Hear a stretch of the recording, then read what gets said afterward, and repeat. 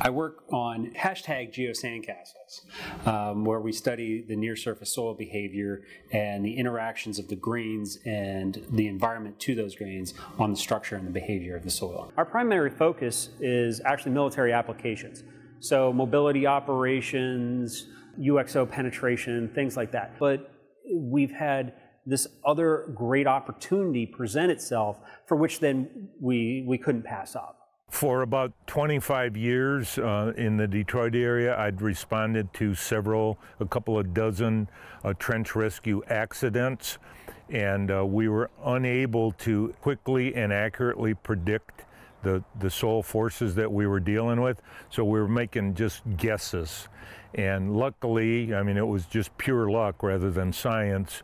Uh, we were able to get out of those without any firefighters being hurt. The real world applications for um, Dr. Taylor and Dr. LeBeau's method is when there is a cave in and somebody is caught in that cave in, uh, we can quickly, just with the use of a tape measure, uh, determine the, the amount of soil force that could push up against our shoring.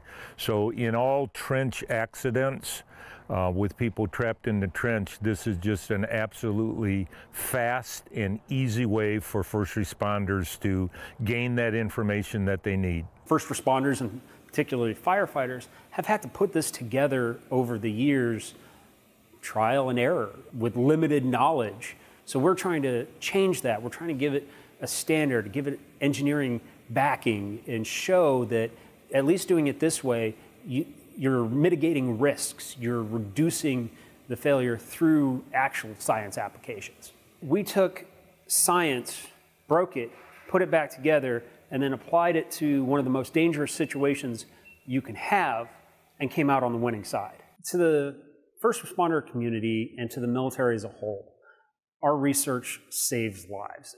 That's the bottom line. We do this to do that one very thing. We want to save lives make things better for our military.